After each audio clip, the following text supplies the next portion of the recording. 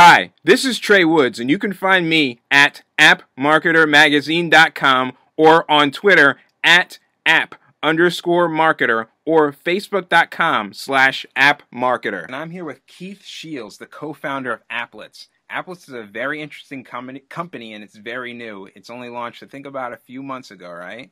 Um, Yep. If you've been um, had an app idea for a while, um, a lot of people I know out there have thousands and thousands of ideas running through their head.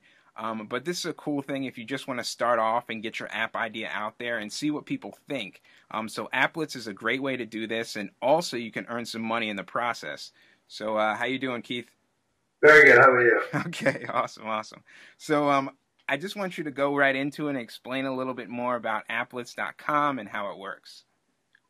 Sure. So, uh, as you mentioned, we've noticed a lot of people, you know, have these great app ideas. Uh, I wish my phone could do this. Wish it could do that. Mhm. But they're not nerdy enough or you know geeky enough to do it themselves, and that's a big problem for a lot of people. Because obviously, app development, if you were to go hire someone, is pretty expensive. Um, and if you were to do it yourself, you have to have a lot of coding knowledge. So we developed this Applits platform for people that have these great ideas. Mhm. Um, that they're not trying to go do and make a whole business out of it. You know, it's kind of like an idea you're sitting on, and if you don't do anything, you- you're not planning on doing anything huge with it. You're not.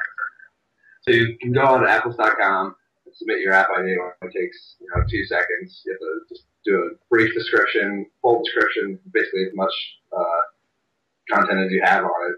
Um, it could be like paragraph if you want to. And then any image mockups that you may have, which are optional. Then you just go ahead and submit it, and uh, that's the, that's the basic process. And so what we do, um, the interesting thing that I think is uh, cool about Applits is that we operate in a monthly competition.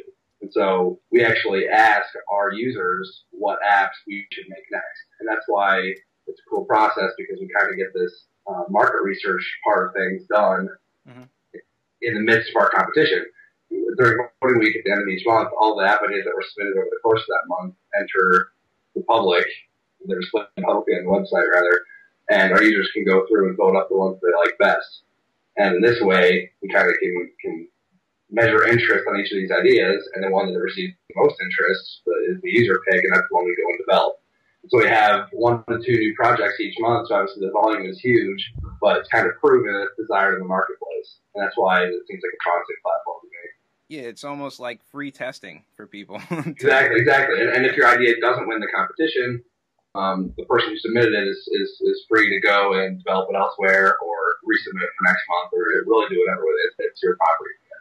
So it's only, the only the IP rights to the idea only transfer to Applits if it does win competition. Okay, good. So I can keep my idea if it doesn't win, and I can develop it myself. Right, and at the same time, you can get good user feedback because you know people are voting on it, people are commenting, trying to kind of perfecting the idea along the way, so you can get valuable feedback as you do it yourself. You can see more of my interview with Keith Shields of Applits.com at App Marketer Magazine. Just click on the link below that says appmarketermagazine.com slash free. Just go below this video on YouTube right now and you'll see a blue link in the video description at YouTube.